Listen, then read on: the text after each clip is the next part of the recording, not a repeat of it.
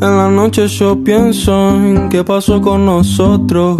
No volvimos a hablarnos, que ahora sido de vos. Y quisiera que vuelva para que ese fantasma me deje tranquilo y empezar otra vez.